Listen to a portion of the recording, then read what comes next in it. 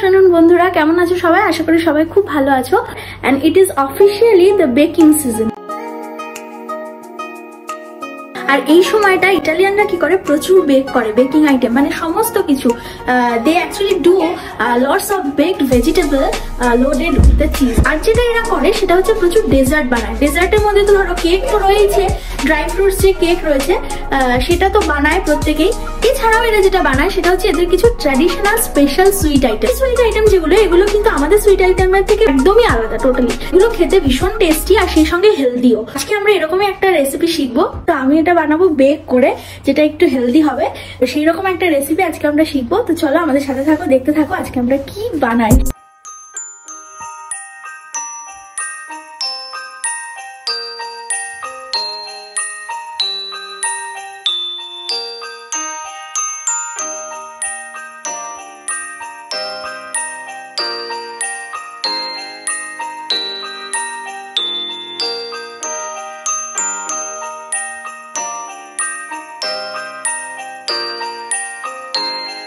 প্রথমে যেটা করতে হবে, এরকম একটা কাচের গ্লাসের হাফ গ্লাস মতন তেল নিতে হবে।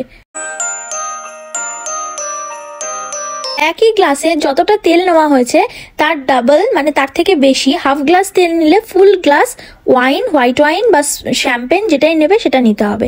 দিয়ে ওটাকে মিক্সড করতে হবে। এবারে এটার মধ্যে হাফ গ্লাসের মতো সুগার দিতে হবে। এবার দেখো, এই মিশ্রণটার মধ্যে সুগার দেওয়ার পরে এটাকে ভালো করে মিক্স করতে হবে, যাতে এই সুগারটা পুরো এটার মধ্যে, এই মিশ্রণটার মধ্যে ভালো করে ডিজলভ হয়ে যায়। তো দেখো, এই পর্যায়ে ওটা একটু ফুটে গেলে পরে এবার এর মধ্যে এক কাপ বড় কাপের এক কাপ পরিমাণ ময়দা মেশাতে হবে।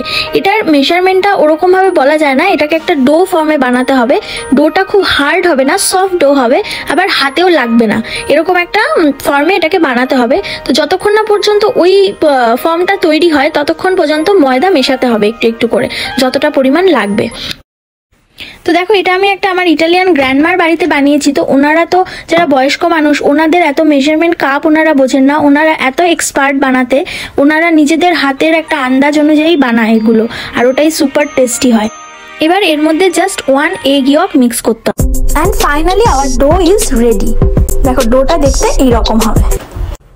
এবারে এই ডোটা থেকে ছোট ছোট লেচির মতন করে কেটে নিতে হবে। আর এই এরকম কাঠের একটা শেপার রয়েছে। চাইলে যে কোনো শেপ মানে যে কেউ, যে কোনো শেপ যেরকম ইচ্ছা করতে পারো। এখানে লাড্ডু শুরু করেছে, লাড্ডুরও ইচ্ছা হয়েছে যে শেপ করবে ওরকম, করে করে বানাবে। তো এই গ্র্যান্ডমা শিখিয়ে দিচ্ছে ওকে যে কীভাবে বানাতে হবে। আর ওকে দেখে আমার ছোটবেলার কথা মনে পড়ে যাচ্ছে।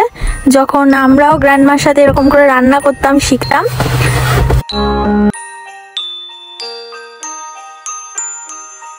এখানে লাড্ডু আর গ্র্যান্ডমা দুজনে মিলেই পুরোটা কমপ্লিট করেছে।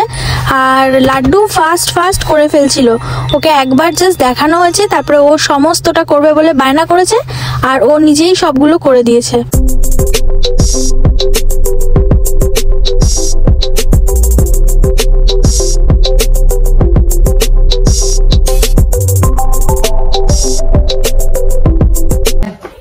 দেখো তুরদিল্লিগুলো সব রেডি হয়ে গেছে। এবার এগুলোকে বেক করার জন্য ওভেনে দিতে হবে। তো এগুলোকে মোটামুটিভাবে হান্ড্রেড নাইনটি ডিগ্রি বা টু হান্ড্রেড ডিগ্রিতে এই থার্টি মিনিটসের মতন বেক করতে হবে। মিনিটস পরে এগুলো এরকম বেক হয়ে যাবে এবং ওপরে একটু একটু কালারও আসবে। তারপরে ওই যে হানিটা আমরা নিয়েছিলাম, ওই হানিটাকে একটু গরম করতে হবে। এই বেকড যে, যেগুলো বানিয়েছি, এই সুইটগুলোকে এই হানির মধ্যে একটা একটা করে ডোবাতে হবে। তারপরে আমাদের মিষ্টি তৈরি হয়ে যাবে।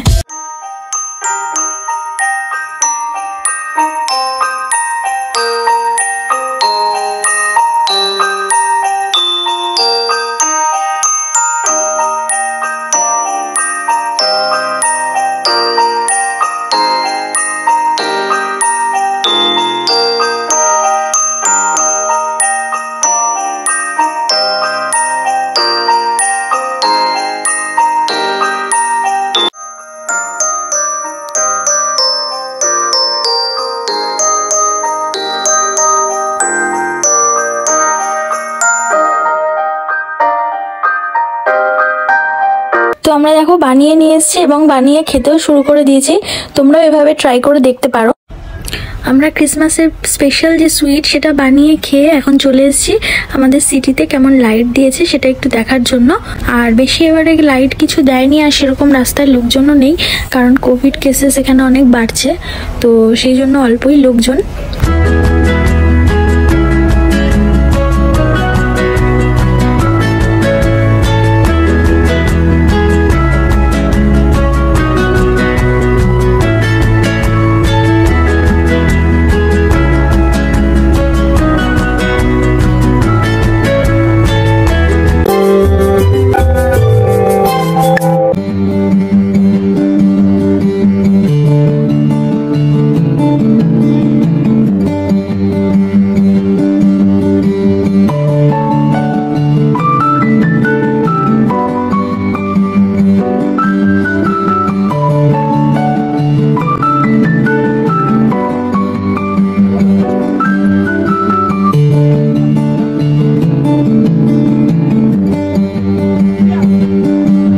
চলো ফাইনালি আমাদের ঘোরা হয়ে গেছে আর রাতও অনেক হয়ে গেছে আর প্রচণ্ড ঠান্ডা এখানে। আর কোভিড যেহেতু বাড়ছে, সেই জন্য রাত্রেবেলা বেশি লোকজন এখানে এখন থাকে না। তো এই ক্রিসমাস টাইমে একটু লোকজন বাইরে দেখা যায়, কিন্তু তাও এখন লোকজন কম। তো আমরা এখন যাচ্ছি বাড়িতে, আর রাস্তা দিয়ে আস্তে আস্তে আরেকটু কিছু লাইটিং দেখে নিলাম রাস্তায়। এখানে চার্চের সামনে এরকম সাজিয়েছে। তো চলো আজকের ভিডিওটা এখানেই শেষ করছি। ভিডিওটা যদি ভালো লেগে থাকে, তাহলে লাইক করো, জানিও কেমন লাগল।